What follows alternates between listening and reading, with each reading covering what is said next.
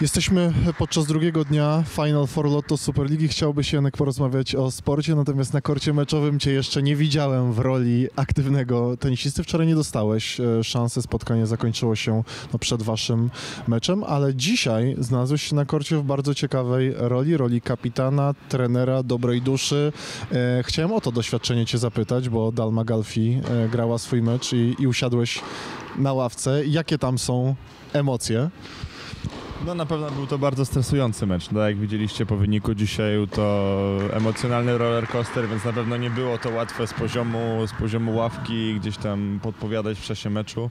E, ale na pewno fajne doświadczenie, że udało się to jakoś wyciągnąć i mentalnie, i tenisowo, i wynikowo i zaczęliśmy to spotkanie e, z ostroniem o trzecie miejsce od zwycięstwa, co na pewno e, daje gdzieś tam dodatkowy, dodatkowe motywacje dla, dla Maxa, wychodząc na kolejny mecz e, i, i, tylko dobry prognostyk dla nas, żeby powalczyć o ten medal.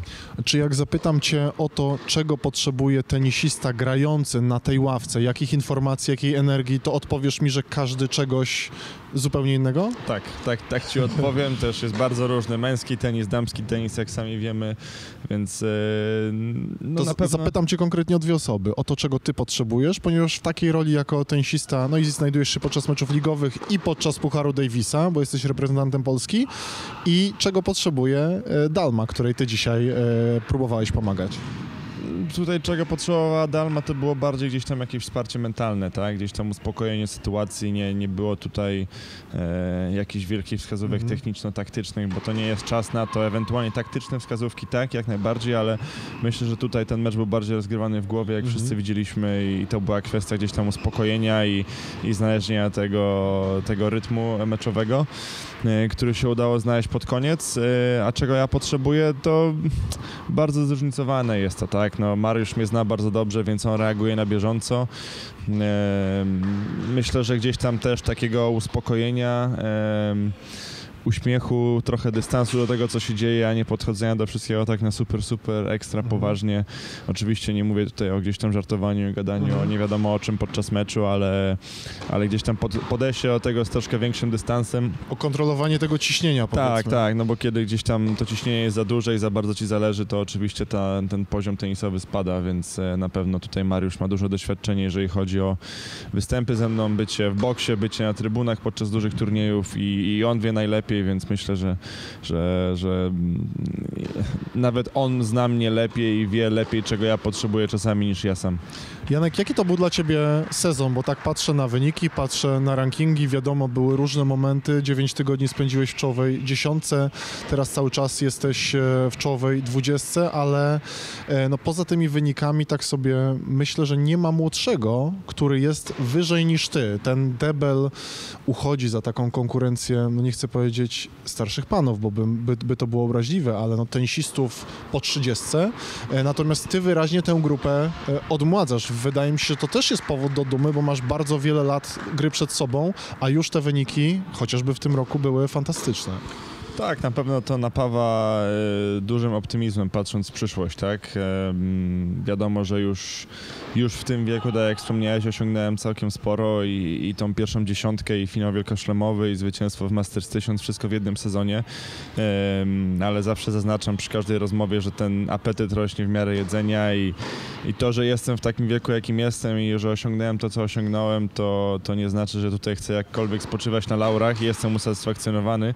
Wręcz jak wszyscy mnie pytają o ten sezon, to okej, no był najlepszy w mojej karierze e, pod każdym względem, ale też, też najgorszy pod wieloma względami i, i bardzo było e, niespodziewanych upadków, porażek, które, których okej, no tak, mm, żadnych porażek się nie planuje, Mhm. tak, ale były trochę niespodziewane, nie na miejscu czasami, e, spowodowane przez nas, e, więc było o wiele więcej pola do popisu jeszcze w tym sezonie.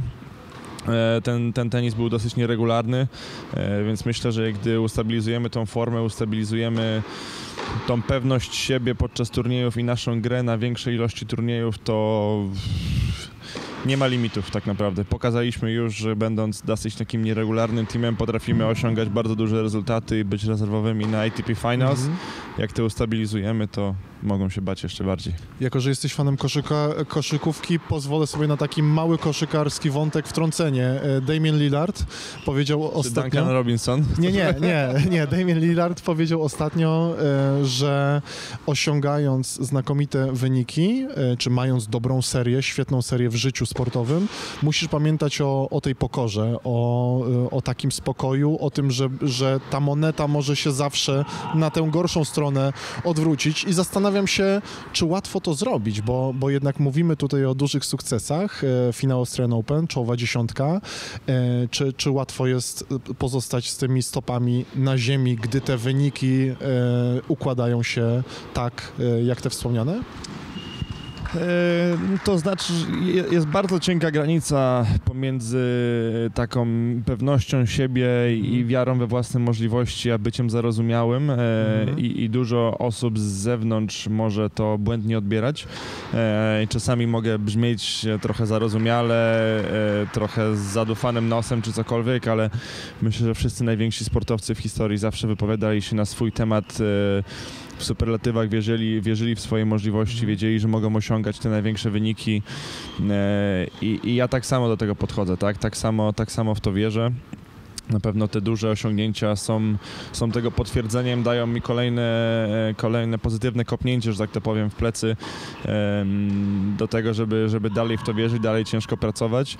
I tak jak wspomniałeś, no to, to bycie na ziemi e, jest kluczem do tego wszystkiego, tak? Oczywiście trzeba czerpać z tego radość e, i, i wziąć z tego tą pewność siebie w pozytywnym tego słowa znaczeniu i, i czuć swoją wartość, ale trzeba trzymać się na ziemi, bo jeżeli zaczynasz odlatywać trochę mentalnie, to później im większe są wzloty, tym większe są upadki, e, a, tych upadk, a te upadki w sporcie zawsze są, więc jeżeli za bardzo się zaczynasz e, tutaj koncentrować na zwycięstwach, później o wiele bardziej przeżywasz porażki, więc jak, jak te, te, te mm, zwycięstwa trzymasz na poziomie normalnym, to później aż tak bardzo nie przeżywasz tych porażek.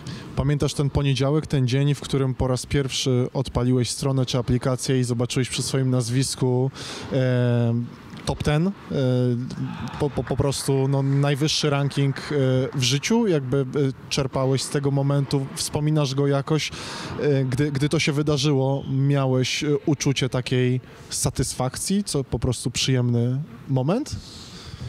Czy ty już myślisz o kolejnych celach i, i, i wspinasz się dalej? Wiesz co, no nie no, na pewno to był taki przełomowy moment w mojej karierze, tak? Zawsze wszyscy mówimy o, o gdzieś tam, począwszy od top 1000 do top 500, top 300, top 100, top Zawężamy grupę. 50. Mhm. Tak, i im jesteś wyżej, tym, tym zawyżasz tą grupę i gdzieś tam każdy celuje w to top 10, top 5, top 3, czy ten numer jeden na świecie, im bardziej się do tego zbliżasz.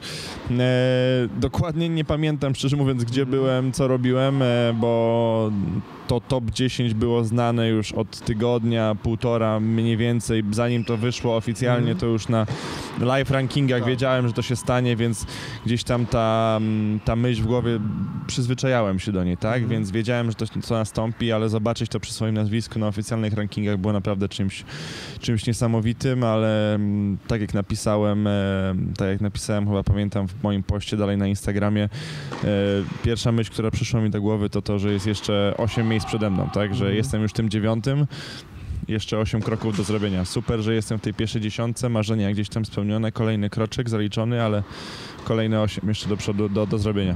Czujesz, że ten status twój e, w, w rankingu, w tej grupie deblistów, no bo wy wszyscy znacie się doskonale, widujecie się w zasadzie tydzień w tydzień, e, że ten status się zmienił, nie wiem, masz więcej ofert, masz jakieś e, propozycje, chociaż no ty jesteś stały w tych tenisowych uczuciach względem Hugo Nysa, natomiast no też sport pokazuje, że poza Bobem i Mike'em Bryanami to żadna współpraca nie trwa e, wiecznie. Sporo jest e, ofert, jakichś takich zapytań, E, sądowania? Wiesz co, no w tym roku było bardzo dużo roszad, tak? E, nie wiem na ile ludzie śledzą listy Mhm. zgłoszeń, ale, ale wszyscy się przekonamy w, na pierwszych listach startowych, że jest bardzo dużo roszad w pierwszej dziesiątce, dwudziestce, trzydziestce, jak na rok deblowy. E, mimo, że niektóre pary były bardzo, mm, grały z bardzo dużymi sukcesami w Mhm. tym roku, to, to są niektóre zmiany pod względem igrzysk czy różnych Mhm. innych zachowań, e, eventów. E, Miałem kilka propozycji, e, tak jak mówiłem w innym wywiadzie, zachowam dla siebie Mhm. nazwiska.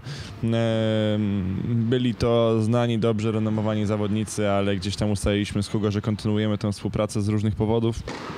E, Mamy nadzieję, tak jak wspominałem wcześniej, troszkę bardziej ustabilizować tą swoją formę, być bardziej przewidywalni, a jak to się uda, to będziemy jeszcze groźniejsi.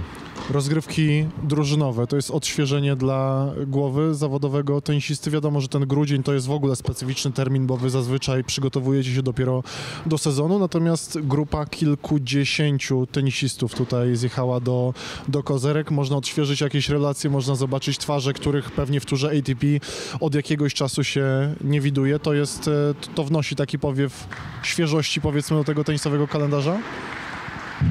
Może nie tyle co świeżości, bo jesteśmy w środku okresu przygotowawczego, więc myślę, że tutaj 80% osób Mhm. jest albo w ciężkim reżimie treningowym, albo w okresie roztrenowania, więc Mam tutaj... na myśli głowę bardziej. Tak, no mm, nie jest to okres, w którym wszyscy są nastawieni na rozgrywki meczowe jako Mhm. takie, ale na pewno każdy tutaj przyjechał mocno zmotywowany, żeby pokazać się z jak najlepszej strony, dlatego czasami ten poziom tenisowy może nie być e, idealny, taki Mhm. jak prezentujemy gdzieś tam na rozgrywkach wielkoszlemowych czy innych, a na pewno każdy jest bardzo zaangażowany emocjonalnie, fizycznie, na tyle, ile tylko pozwala na to głowa i ciało.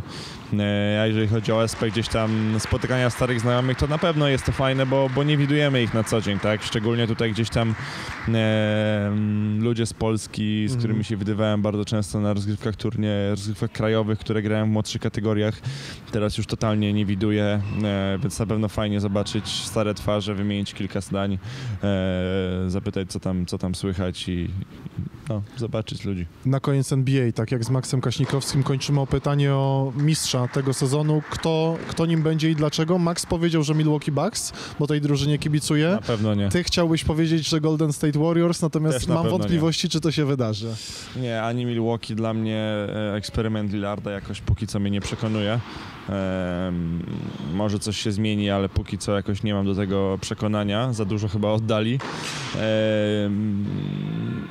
Golden State też nie, tam są duże problemy jakieś na różnych płaszczyznach.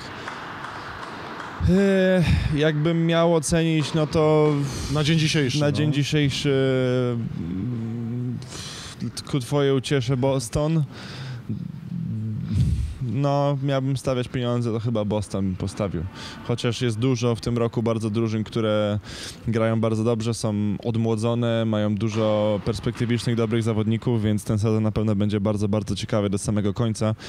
E, I nie wykluczałbym e, niektórych niespodzianek w playoffach.